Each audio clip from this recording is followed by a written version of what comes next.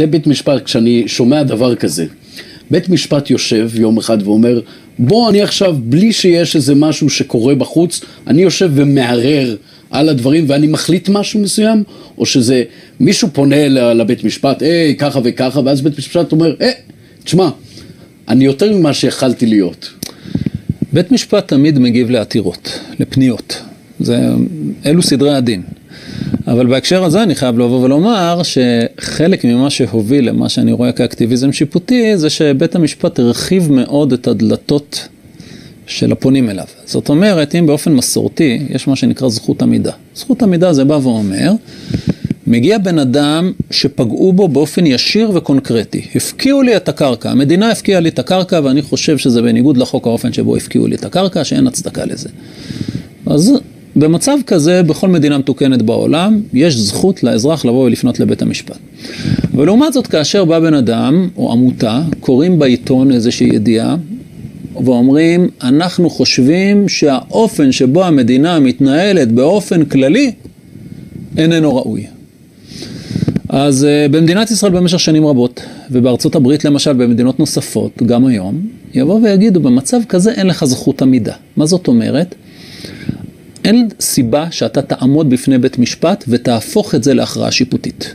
במצב כזה שאין לי השוק שצריך להציל אותו מידי עושקו, או לפחות מישהו שהוא טוען שהוא השוק, כן? אני לא יודע מראש אם הוא השוק או רק מתחזה להשוק, הוא משכנע את עצמו שהוא השוק, אבל לפחות שיש כאן טענה, שיש כאן השוק קונקרטי, במצב שבו יש שאלה כללית, כן לגייס בחורי ישיבות, לא לגייס בחורי ישיבות. במצב כזה, נושא מאוד חשוב שאזרח מעורב יעסוק בו, רק הבמה לעסוק בו צריכה להיות הבמה הציבורית, הבמה הפוליטית. תקים מפלגה. ת, ת, תגדיר את האג'נדה שלך, שאתה חושב שצריך לגייס את הבחורי הישיבות. תגדיר אתה שצריך לא לגייס אותם, והציבור יכריע באמצעות הרוב. כאן כשזה פתאום הופך להיות לשאלה משפטית, אני לא סתם נתתי את הדוגמה הזאת של בחורי ישיבות. כי באירוע הזה בדיוק, בתחילת שנות ה-70 ובתחילת שנות ה-80 בית המשפט דחה את העתירות ואמר, אני לא מתעסק עם זה כי זה נושא שאיננו שפיט. כי זה נושא, אני פה מתייחס לשתי דוקטרינות במקביל, כן? אחד, כי זה נושא שאיננו שפיט, כי זה נושא שהמהות שלו פוליטית.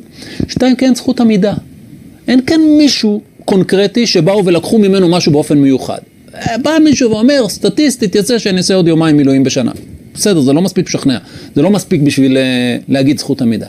לעומת זאת ב-1986, בנושא בחורי הישיבות, לראשונה בא בית המשפט והכיר בעותר ציבורי.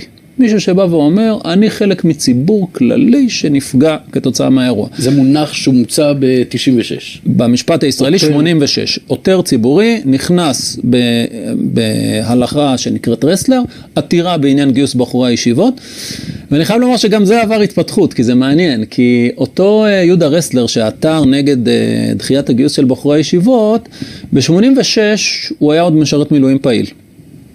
הוא לא יכל להוכיח שהוא נפגע באופן אישי, לא הפקיעו לו קרקע ולא לקחו ממנו שלוש שנים מהחיים. אבל הוא, הטענה שלו הייתה, סטטיסטית אני כנראה עושה עוד כמה ימי מילואים בשנה.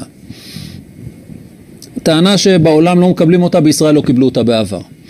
ב-2012 ניתן פסק דין בעתירה נוספת של יהודה רסלר, שבו באמת נפסל חוק טל. יהודה רסלר ממשיך וממשיך. כן, הוא מ-81 למעשה כבר, אז דחו את העתירה שלו לגמרי.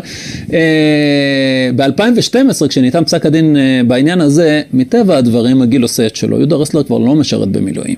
זאת אומרת, אפילו את היומיים מילואים הללו כבר לא היה לי לטעון, ולא לא, לא, לא הייתה לו את היכולת לטעון שהוא נפגע, ועדיין, בשלב הזה, כבר בית המשפט כל כך הרחיב את זכות העמידה, שהוא בא ואומר, כל אזרח שיש לו רעיון על האופן שבו צריך לנהל את המדינה, מוזמן לפתחי. ושוב, שלא יובן לא נכון, אני חושב שאזרחים שיש להם רעיונות טובים איך לנהל את המדינה, זה אזרחים טובים או מעורבים, אפשר להתווכח על רעיון חיובי או רעיון שלילי, אבל השאלה היא, באיזו מסגרת צריך לברר את זה? האם במסגרת משפטית, שיפוטית, או במסגרת פוליטית שמייצגת את הכרעת הרוב?